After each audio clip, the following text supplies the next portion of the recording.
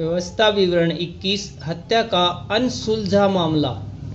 यदि उस देश के मैदान में जो तेरा परमेश्वर यहोवा तुझको देता है, किसी मारे हुए का शव पड़ा हो, वह मिले और उसको किसने मार डाला है, यह पता न चले तो तेरे पुरानी और न्यायी निकलकर उस शव शव से चारों ओर एक एक नगर की दूरी को नापें, तब जो नगर उस शव के सबसे निकट ठहरे उसके पूर्णीय एक ऐसी कलोर ले रखें जिससे कुछ काम न लिया गया हो और जिस पर जुआ कभी न रखा गया हो।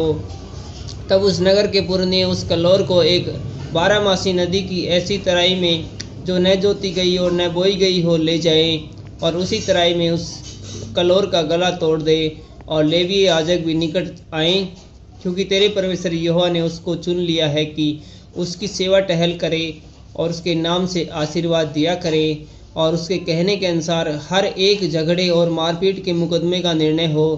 फिर जो नगर उस शव के सबसे निकट ठहरे, उसके सब पुरनी उस कलोर के ऊपर जिसका गला तोड़, जिसका गला तराई में तोड़ा गया हो अपने अपने हाथ धोकर कहे, यह खून हमने नहीं किया और न यह हमारी आँखों के सामने हुआ काम है। इसलिए कि हे यहोवा, अपनी छुड़ाई हुई इजरायली प्रजा का पाप ढांप कर, निर्दोष के खून का पाप अपनी इजरायली प्रजा के सिर पर से उतार। तब उस खून के दोष से उनको क्षमा कर दिया जाएगा।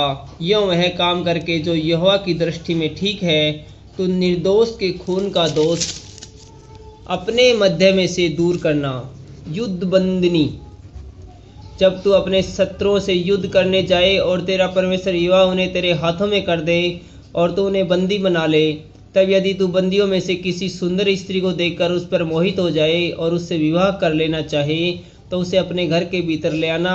वह अपना सिर मुंडाए, नाखून कटाए और अपने बंधन के वस्त्र उतार के तेरे घर में महीने भर अपने माता पिता के लिए विलाप करती रहे।